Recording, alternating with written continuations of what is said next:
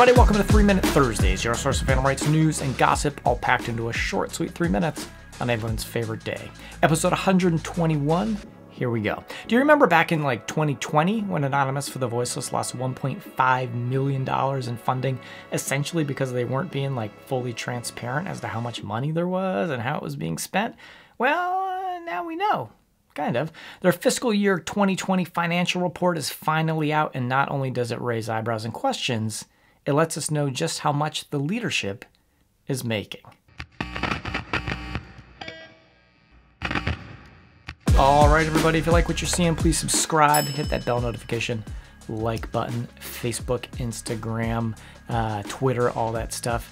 It's a great time. Have you guys been listening to the podcast? I'm loving this thing. Radicals and Revolutionaries, Tyler and I, we just put out episode five with uh, Roger Yates, former press officer. He's talking about being the press officer. He's talking about going to prison with Ronnie Lee. He's talking about being on the run, all sorts of cool things.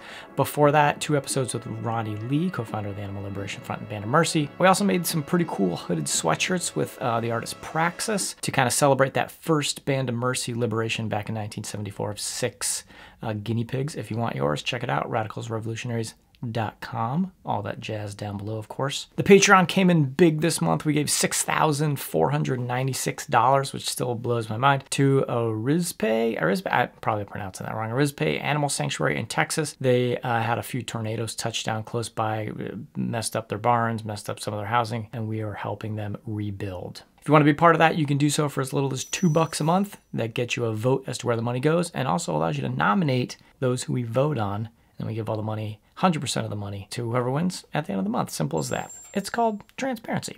But we'll get to that in a little bit. Can I do some real quick updates I'm excited about and are worth mentioning? Fred, is that okay? Okay, we got the go ahead from Fred. Thank you very much. So it is official as Ireland signs into law their ban on fur farming, making them the 15th country in the European Union to do so. That is very exciting. Here in the US, Lauren Nasrallah, which I'm also probably mispronouncing, who is a college student in Massachusetts, just got a ban on the sale of fur passed in Plymouth, Massachusetts. Amazing news. Nice job. Massachusetts is just steamrolling the fur industry single handedly. Tip of the hat. If you're looking for ways to plug into the fight against fur, a Coalition to Abolish the Fur Trade is having a week of action against their international target, Louis Vuitton, from April 18th to the 24th.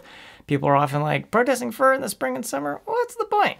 Critical time to be protesting against fur. You know how there's like these amazing groups run by like one or two amazing people and you just never really have heard them that much because these people have zero ego and they just like get the job done? That's Michael and Karen Budkie and their organization Stop Animal Experiments Now or SAEN. They started this organization back in 1996 and they do really important work, including getting new bills signed into law this week that will protect cats and dogs. This happened after they exposed Envigo Labs, and these laws will potentially and hopefully have a big impact on their on uh, Envigo's ability to operate. Tofurky won their day in court as Louisiana's law preventing Tofurky and others from using terms like burger and sausage on their plant-based items was ruled unconstitutional and a restriction of free speech.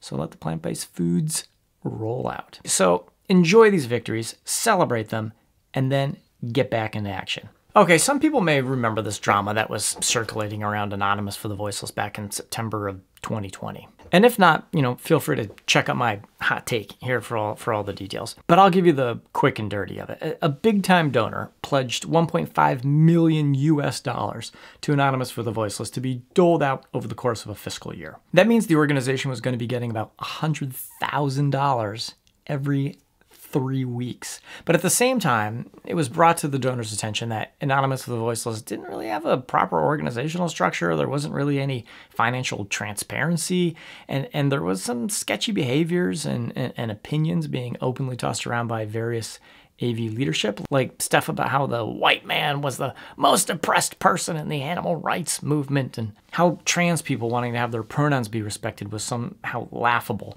How the movement for black lives in the US was a wasted effort because, well, it's just not as bad as you think it is. Paul and Asal would end up firing some of their staff because of that and, and trying to walk back some of those statements, but really the, the damage was done. The donor also thought it would be a good idea for him to create a board of directors for Anonymous for the Voiceless for whatever reason, and also for some odd reason, he sent in Joey Carbstrong to take a look at Anonymous for the Voiceless financials and report back. Because when I think of sound finances, I think of Joey Carbstrong. Which, and here's the, the part I, I, I do agree with Paul and Asal, I would have also said, hell no, that is not happening. You do not control my board of directors, and Joey Carbstrong is not making financial decisions for us. And here's my gentle reminder to any organization that is planning to go the same route as AV did and allow a multi billion dollar venture capitalist be the sole funder and ultimately control all the pieces of your grassroots organization.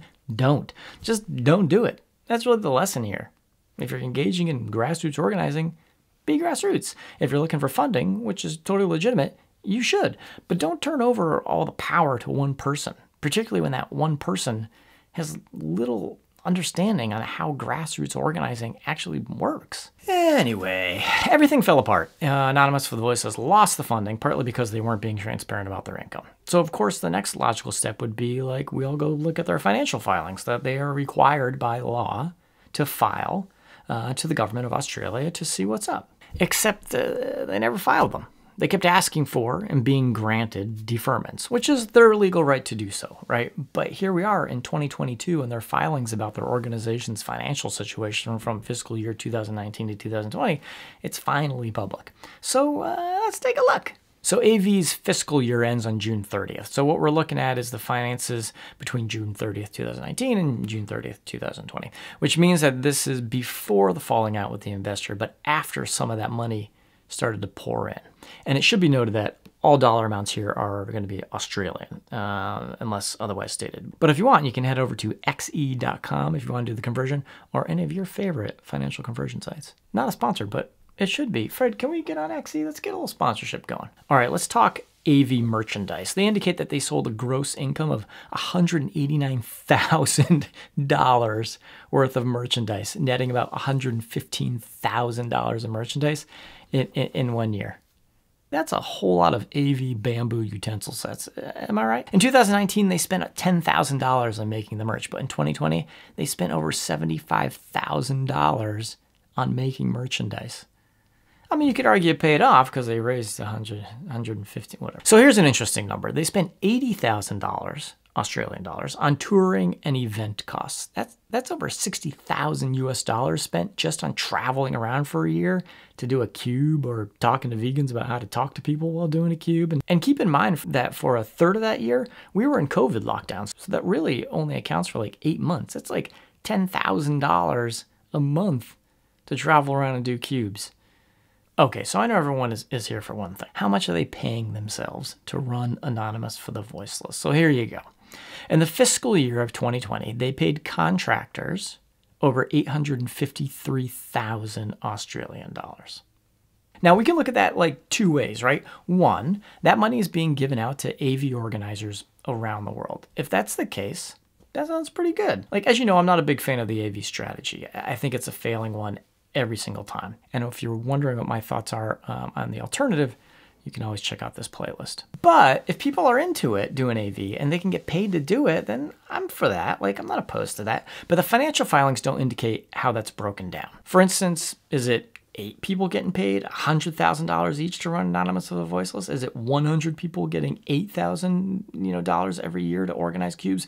It's impossible to tell, except uh, for two people, Paul and Asal. They indicate that they each received $91,000 a year.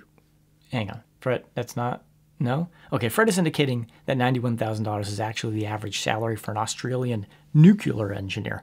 It's actually 95, not 95,000. Oh, not 95,000 is the average income for an Australian veterinarian. Uh, 112,000, no, okay. $112,000 is the average salary for a CEO in Australia. No, Paul and, and Asal paid themselves $115,000 each as anonymous for the voiceless contractors, which included a $21,000 raise for both Paul and Asal for each of them. Now, we can debate whether or not that's an appropriate amount. And again, I'm all for getting paid a livable wage to do our activism. And, and every place in the world has different averages for income and different averages for household incomes and, and all that. For instance, according to the Australian Tax Office, the median reported salary in Australia is $52,732. Paul and Asal make more than double the amount of the average income in Australia. Is it appropriate for a grassroots animal rights organization to be paying themselves more than double the median income? On their filings, they state that they have 239 volunteers with Anonymous for the Voiceless. Presumably, they could all be possible contractors as well. But is it ethical to pay 27% of the total money allocated to paying contractors and giving that just to two people? That's up to you. I can't wait for the discussions down below in the comments. They're going to be fantastic. But wait, there's more. In 2019, Paul and Asal started an official partnership outside of Anonymous for the Voiceless, complete with a bank account. Then, from what I can tell from these filings, Anonymous for the Voiceless dumped almost $400,000 into that bank account. Basically, Paul and Asal took $400,000 of AV's money and put it into a separate bank account controlled by Paul and Asal. Why? Who knows? It doesn't have to be reported on, from what I can tell. It could be something totally benign and on the up, or something scandalous, or something in between. But all that is mentioned here is that AV loaned Paul Asal close to $400,000. And that two years later, it was eventually repaid. We could speculate on a whole lot in regards to that, but we won't. But if you are involved in Anonymous for the Voiceless, this seems like something worth looking into because it's your volunteer work that gets those donations. It's your volunteer work that brings in that funding. It's your volunteer work that pays their salaries. And it's that funding that is, for whatever reason, being loaned to Paul and Asal in a separate partnership account. So there you have it. Personally, I think in order to build a strong movement and community, you need transparency. You need it in your leadership, in your strategies, and you need it in your finances. This builds trust, and you can't be successful without a community that trusts one another. And in this case, the lack of trust and lack of transparency on Anonymous for the Voiceless part cost them $1.5 million. And ultimately, that feels like the lesson that needs to be learned. So, does this satisfy your curiosity? Does it add more skepticism? Do you simply not care either way? That's up to you to decide and feel free to debate down below.